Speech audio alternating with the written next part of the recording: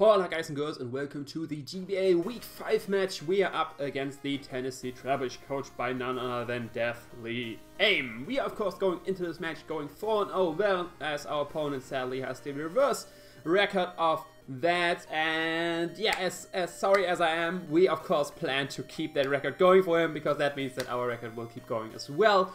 This is the official halfway mark of the season, or better said, after this match, it's the official halfway mark of the season. This is the fifth match of a 10-week regular season, so if you could get a win right here, going 5 and 0 in the first half, it would be amazing for our race for the playoffs and would solidify our spot very greatly. We basically would have to lose out on the next five weeks to not make playoffs, which is I mean, I guess it can happen, but we're definitely not planning for that to happen. So, um, yeah, so that's the uh, for the rest of the history of the match. I never battled Deathly before. It's the first time we are in one one league together. So I'm looking forward to this match.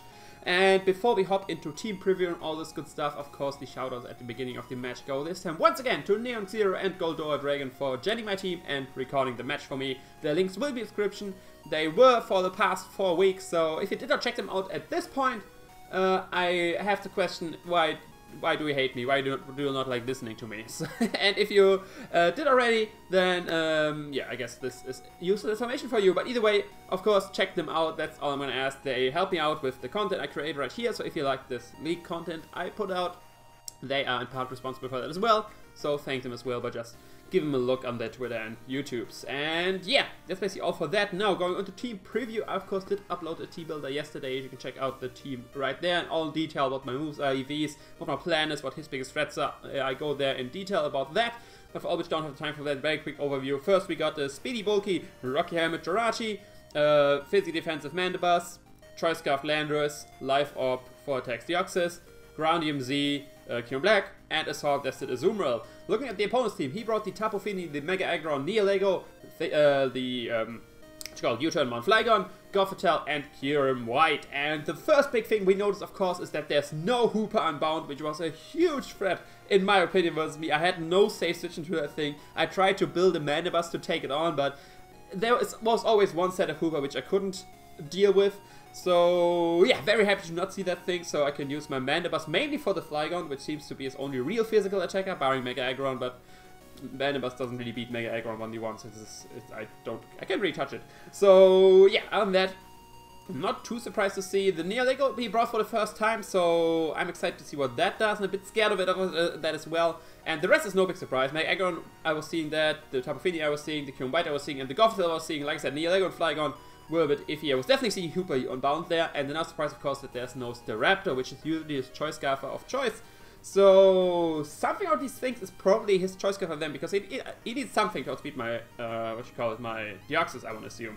So, most likely it's going to be uh, Flygon or Nihilego, I want to say but we will have to scout for that in the match. So, before we hop into this game, this I of course do postcom, so I can tell you that before, but if you watch Deathly's live, he does live commentating, so if you want to check out the live side, definitely check out his channel. We decede a lot in this match, so, and this is now the final version, like this is the only one got which we got to the end, so there is some recreating going on. Thankfully, it's only in the first few turns, and after that I can narrate it normally. But in the original game, I did lead with Mandibuzz right here I lead with Jirachi, and I will explain to you why once all that happens, but just so you have the same experience as, or at least a similar experience if you would watch the live version. But either way, I decided to lead with Mandibuzz on my end since I either predicted him to lead with, or most likely predicted him to lead with Flygon, and uh, Mandibuzz of course my check to that can U-turn out versus that.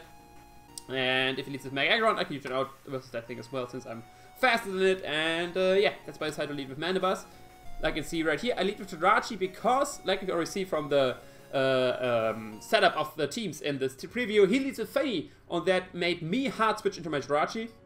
And that's why I'm gonna, gonna hard switch into Jirachi right here as well. Because what he showed on the first turn was th that he did go for Calm Mind.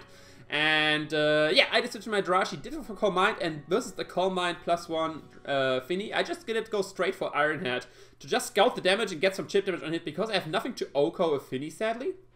And I need at least one, or depending on that's with two Iron Head turns chips on him to bring him in range of my Kyurem Black.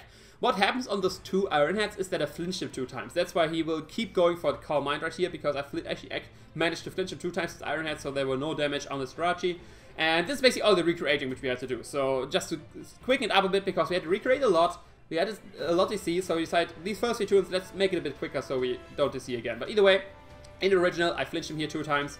And after I hit him two times with Iron Head, I decided to U-turn out um, versus this uh, Philly. Since now he was in range of my Q Black with Fusion Pulse, for example. I want to U-turn out into my Azuma right here, but after the second flinch, he actually decided to switch out right here into his Mega Aggron, which I get to U-turn on, so... And now we are basically back in how the original game went. So, I U-turn on this Mega Aggron, and of course my best switch into Mega Aggron is the one thing I have which can OHKO this thing or guaranteed OHKO thing, or at least get out, which is my Mr. Man, my Landorus, which of course scares this thing out with the Earth Power, but of course he does have the Flygon, which is immune to uh, the Earth Power, so I decided to go straight for the U-turn here, predicting to switch out, keeping up the momentum in my favor, which exactly happens. We do hit the Flygon with the U-turn right here, so a decent amount of damage since we are uh, minus defense, but at least we uh, are not minus attack. Of course, not investment still. But either way, we do switch out on, the uh, our Mandibuzz, which of course is a tactical thing and allows us to just go for U-turn once again. He does go for his own U-turn, which of course does very little damage to us. Said we do not have a Rocky Helmet, but yeah, we get a slow U-turn off and basically get the momentum back our favor. He goes once again back into his Mega Aggron. And we just keep U-turning, and this is the cycle, let's keep the cycle going basically. He's in Aggron, we U-turn out right back into our Landorus. This time I decide actually switch it up, though I didn't want to go straight for the U-turn again and him staying in something like that, since I'm Choice Scarf on my Lander. I decided this time actually to go for the Earth Power, in case he wants to break me going for U-turn or stuff like that. Opposed now switch, he does switch out, but thankfully not in the Flygon, he actually switches into his Tapu Fini, and I can hit that thing with an Earth Power, which is, uh, yeah, which is very nice. This like you can see right here, after this Earth Power damage, it sadly won't KO this thing, but it does a lot of damage to this thing, which basically brings it in range of anything.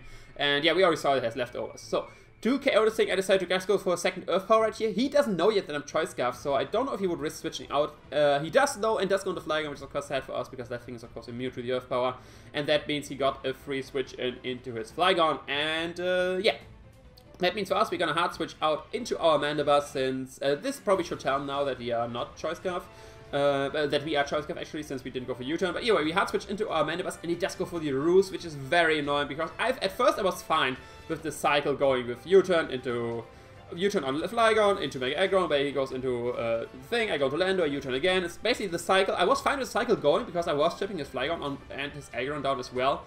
But seeing that the Flygon has Roost, this cycle is basically not how we are gonna win this game, or at least not anytime soon, and that's definitely not what I want to do. I don't want this game to drag out forever by just going repeatedly for U-turn, him roosting, all this good stuff. So I actually decided, due to that, getting probably getting a bit impatient, U-turn in here, not into my Landorus, actually, thought to switch out U-turn into my Jirachi for one, to get my rocks up, so that his switching around is, uh, he gets punished for that, and for one, a little bit scouting what kind of Lander, uh, this Aggron is, because from the U-turn damage from my uh, Mandibuzz, I had no idea, especially defensive, physically defensive, is this not offensive, is this what, whatever.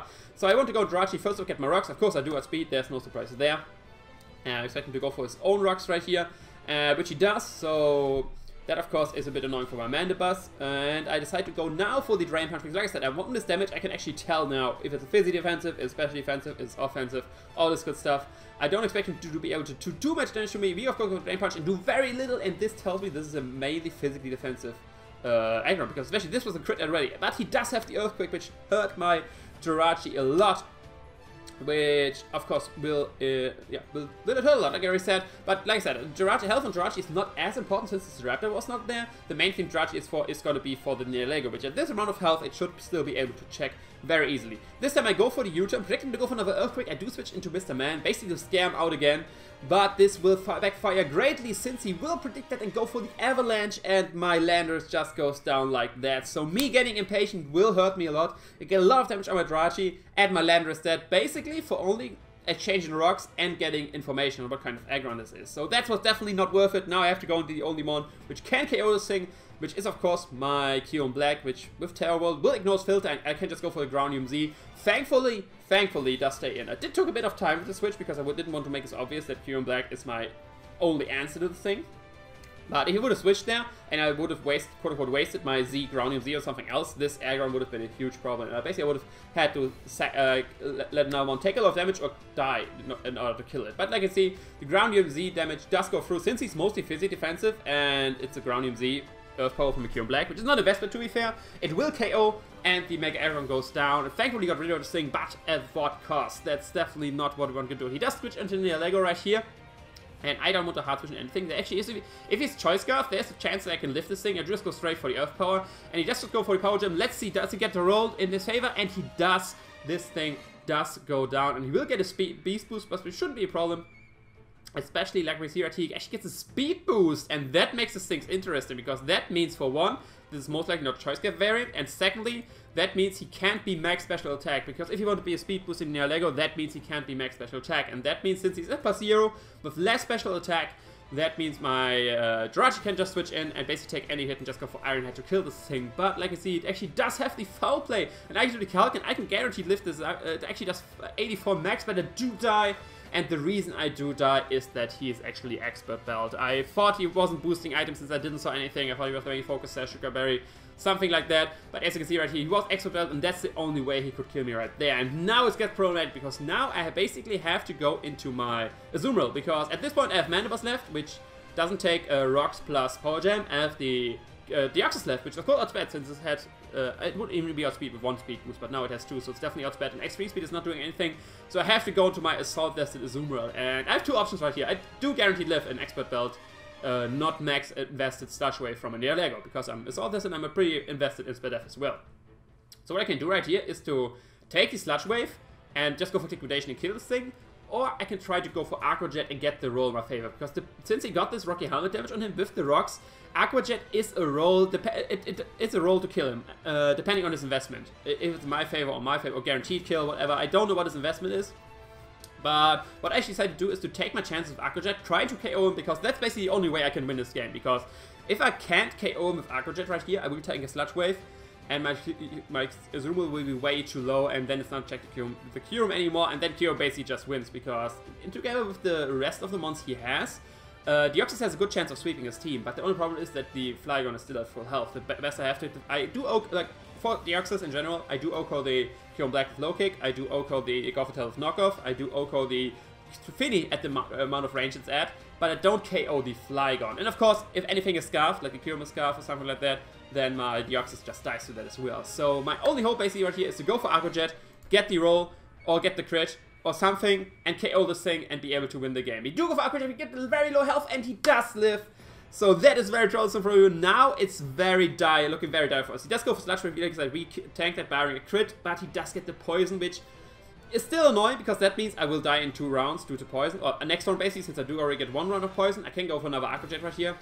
But I will die to the poison, but not getting the roll is definitely what hurt me more, because uh, even though Azura will go down, and I basically could have gone for Aqua Jet on one more thing, which, I mean, I guess if he would have gone to Flygon, it would have been awesome, because getting chip on Flygon would have brought in range of my Deoxys. But Azumarill does go down, and now my only hope of winning here is to get somehow get some chip on the Flygon before I go into my Deoxys. So basically my only hope of winning is that he goes into Flygon right here, I go into my Mandibuzz, and I get some Rocks rounds of on him, or some Brave Bird damage and stuff like that. So I decide to go into Mandibuzz. Sadly, he does go into Tapu Fini, and that basically means GG now. Like, I mean, there is a chance that I'm faster than him, since I'm, uh, if he's no speed, but since he had Calm Mind, he's most likely an offensive Fini, so I don't expect to be faster than him. He can just go for Moonblast right here, die there, and then go into Kyurem, and then it's over, because if he goes into Kyurem, he can just uh, Ice Beam me, kill me, and then I only have Deoxys left, which doesn't kill the Flygon, which KOs me on the other hand. Or if I switch into Deoxys on the Ice Beam, I of course die. So sadly, it looks like it's GG. I, I actually, he is actually faster, but he does go for Aqua, which was very surprising on my part. I thought he would try to go for Moonblast right here, just KOing me and stuff like that. But he does go for Aqua, which was very surprising. Like I said, I go for Brave Bird right here, and I can KO this thing. So at least I get the score a bit lower as, as well. And uh, yeah, he gets rid of the Fini, but now he does, of course, I give some leftovers recovery, like you can see right here, but that that's not bringing me out of range of, out of an Ice Beam from a White. So you can just go straight into his Kyurem right here, and uh, yeah, if he takes Ice Beam right here, he wins the game. I just go for U-turn in case something weird happens and he doesn't click Ice Beam for some reason. Because that will give me a switch into my Deoxys. And something weird happens, actually! He does go for Roost, and I have no idea why he did that. Uh, he does go for Roost. I get my free U-turn off, and I get my switch into my Deoxys. And we are back in the game. There's again, once again, there's still a shot that we can win this game. Even though it was looking very badly for us. We can go into Wacky Wave and your Flaming I'm um, Flaming Tube Man right here. And uh, yeah, we can just take no kick. We kill this. If the Ox if he goes into the Gothitelle, that dies to knockoff. If he goes into the Flygon, we get the chip we need. We can just go straight for the low kick. And like you can see right here, since he did go for Roost, we already know he wasn't Scarfed because who scarfs himself into Roost. And yeah, we killed the Kyurem White, and uh, now it's only the Deoxys and the uh, uh, the Flygon and the Gothitelle left. And even though I might not be able to kill the Flygon, my Mandibuzz potentially can beat both of these 1v1. He does go into uh, Gothitelle first, and I was a bit surprised because I just go for knockoff and KO this thing. But like you can see right here, he does have the Colbur Berry, so will, he will be able to lift the knockoff. But yeah, we'll go for his own foul play to kill my Deoxys. But like I said, my Mandibuzz still is it's it's not as healthy, but we have a shot at beating these last mons 1v1. Since he is not a Scarf Gothitelle, I have a good chance of being faster with, my Mandibuzz than him. Because like I said, I'm a speed, uh, relatively speedy Mandibuzz. I'm fast enough to outspeed a modest uh, Magnezone. So if he's not very speedy on Gothitelle, we do outspeed. And if we should do outspeed, we get the roost off. And now we have to see, does he have Toxic? Because if he has Toxic, this is of course GG. And we, even though Misty Terrain is up, we are flying. So we can't get Toxic. But no, he has Thunderbolt, which does close to nothing since we roosted and we are bulky Mandibuzz. We get our leftovers back and we are guaranteed faster in the city. We can't just go for Brave Bird, kill this Mandibuzz, and then it's only 1v1 versus the Flygon. We only saw Roost and U-turn so far of the Flygon, but depending on what moves he has, we might actually be able to beat this thing 1v1. We do get rid of the Gothitelle, and now it's Mandibuzz Pow versus the Flygon, which only showed, like I said, U-turn and Roost so far. If his other moves are uh, it's Earthquake, which of course Mewtwo would be great, and depends. Does he have Outrage? Does he have Dragon Claw? Does he have Dragon Dance? What is his last move? What is, he most likely will have Earthquake, that's I'm assuming. What is his last move? He does go for Roost versus me. Okay, that makes me already hopeful. Okay, that means he most likely doesn't have a really good uh, attack to hit me with, and I just go straight for my own roost right here, because if he was going for Outrage, which was the only thing which was really scary, I had to try to roost up on him and basically make him hit himself in confusions a few times. But he did go for Roost himself right here. I just go for Bird, and he does go for U-turn versus me. And that makes me very hopeful, because that means that U-turn is most likely the only move he has to hit me. And uh, we actually end up uh, going into a very nice stall war right here, in which we try to beat this Flygon 1v1, which will be roosting. He will try to beat me 1v1, and I will try to be roosting. Uh, I don't have to worry about getting Earthquake on my roost, since he's faster than me, so that is not a problem. But, uh, spoiler alert, this game is now getting very staldy. This will take a long time to end. And I should uh, end up talking to Deathly a lot versus this, so yeah, you probably can see that in live narration, but since how this is going currently, like if U-turn is really the best thing he has, uh, he might have more PP than me, but my Brave Birds do way more damage to him. Like two Brave Birds and he's forced to roost one time, and I, I already started, once I saw that I had to do this 1v1, I started counting the roosts he has. And since I only have a roost, I have a roost at way less scenarios, especially since I have leftovers as well, which give me recovery as well, even though I get Bird Recoil with the leftovers, I do have to roost less, and in my mind, it's looking like I will actually win this 1v1, since he's way, for, forced uh, way more often to roost, and basically once he's out of roost, I win this game, where on the other hand, I, I don't have to roost as often, since yeah he has only U-turn to hit me, and uh, yeah I will eventually win this 1v1. But uh, yeah, we talked about I talked about this with Deathly. I uh, said him that I think I will win this. Like I even told him how many PPs I have and all this good stuff. It turns out he actually had, did have more PP than me, so if it would end up in a PP war, he would actually win since uh, I would have less PP than him and I was starting to struggle first. But uh, yeah, like I said, in my mind math, I will end up winning this thing, but Deathly decided to play it out, which is fair, which I would do as well if like, my opponent could obviously be lying and just trying to make me forfeit. So I would I would definitely do as well. He does go for Earth right here, so he shows our uh, shows his third move. And uh, yeah, we just get confirmation after talking like U-turn is the best thing he has with me. There's nothing else. He's not trying to bait me into getting into low health and then uh, showing the outrage. Uh, U-turn is the best thing he has to hit me. And uh, yeah, this thing will play out now. And I will... Okay, can we speed it up? Can we speed up? Where's the speed up button? Um, let me see. Uh, nope, that was the wrong button. God damn it. Wah! Wah! What did I do? What did I do? Okay, I will probably add something else because I just saw a Discord chat you shouldn't see. Um, how can we make this faster? Mm, okay, he, that that's how we can make this faster. Okay, that's just that's just the wrong button as well. How can I make this faster? Oh, that that's what. That's how. That's how. Yes. Yes. Boom. And even faster. We want to go even faster than this. Nice. Sorry that it was a bit uh, weird right here to go faster. Now, uh, let's like double the speed. And basically, while this in, in the background is going on, uh, you see, it's still, it will still be a few minutes. You already saw how long the video is, how long it's still taking. But uh, yeah, spoilers. I uh, will end up uh, winning this war with Mandibuzz, like I figured. Um, it lags a bit right here, probably because it's so fast, but either way, I will end up winning this one. we will actually win 1-0 versus Deathly Aim. And that gives us a chance to talk a bit on this match while this is playing in the background. And let's make it actually even a bit, a bit more faster. Uh, let's make it double the speed. There. Oh, no, once more, once more. Boom. There we go, double the speed. But yeah, why? And uh, I, I only did win. Like let's let's talk about the elephant in the room. I only did win because Deathly, sadly, like as much as it it probably is annoying for him, he choked the game away. He just had to go for. I like the the the Fini play didn't matter as much since even if he could go for Moonblast, he potentially would have killed Mandibuzz. I still would have had Deoxys Poison Jab. I kill him. And uh, yeah, then he would have gone flying on to not or into the Gothitelle actually, since he had Colbur Berries. He would have guaranteed live as well. So the one play which was the guaranteed 100% choke play was the Ice Beam of Kyurem. Uh, the Roost of Kyurem, not Ice Beaming there. Because if he Ice Beamed, he would have killed my Mandibuzz, or I would have killed my Deoxys. And if I only have Mandibuzz, I, like I can't win, because Mandibuzz would still lose to Kyurem then. And if I lose my Deoxys, if I lose my uh, my Mandibuzz, obviously my Deoxys alone couldn't win. Since one, I can't kill the Flygon, which uh, to be fair, he didn't knew, but he still had to go off tail on the back of Colbur Berry, which, like I said, I couldn't beat 1v1. So that was definitely the the play which cost him the game. Definitely to watch his side though, to get the full thought process behind it. Uh, he's in the in the message just told me he wanted to be out of range of like a low kick or superpower from Deoxys, which uh, makes sense, like obviously. But to be fair, even at full health, he wouldn't been out of range since like saw low kick OHKO'd him. But to be fair, he didn't know I was life for.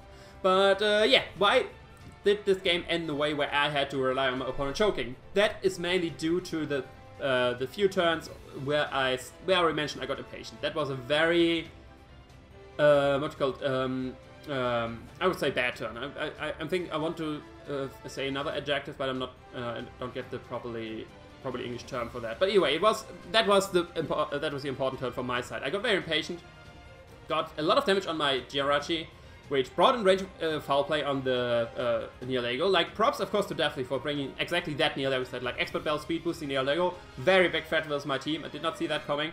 But uh, basically, me allowing to get Jirachi so low with the Earthquake versus uh, uh, Aggron, and especially going into Landorus after him reading that, going, going for the Avalanche, which, to be fair, was a great read on his part, but it was, as well, it was a read uh, which he didn't have, like, it was not, not a high-risk play on his side, because even if I stay in and go for another Drain Punch, but I do another 10% to him, and he does a 10% to me, and then he can still go for Earthquake after. So that was definitely more of a, a like, it was a misplay on my part as well. Great read uh, from Deathly, but I probably should have gone to something else there. Like, if I predict an Earthquake or Slash, I should have thought about Avalanche as well. I should have gone to Kyurem there, because there was no way he's going for Heavy Slam versus a, uh, versus a Jirachi. So I think going to Kyurem there was the safer play. Or in general, just not getting impatient and trying to get a Brox versus him and scouting what he is. That was mainly the mistake on my side, which got it so close. Thankfully, or luckily for me, the, the plays happened, which I already talked about, and we still ended up winning the game. But it's definitely not how we want to win our games, like relying on our opponent to make mistakes. So yeah, we will have to improve uh, uh, going into matches forward because especially last week we had a more kind of lucky win versus Aaron. Now we had a win because our opponent uh, didn't play optimally. So that's definitely not how we want to win our games. And next we are going to face Leo and his Derwent Dradagon. So that is definitely going to be a tough opponent where we have to step our game a lot. But this game, even though we still managed to win very closely, is a very good reminder for me to not basically to still like even though we have a good record we still have to we still have to be in the game. We still have to play good. We still have to think about what we are doing. We still have to consider risk reward on, every play we make and even think about our opponent like what play could they make? Uh, like I didn't even thought about that he could go for ice move but in retrospect it was like a no drawback play for him like at least close to no drawback play.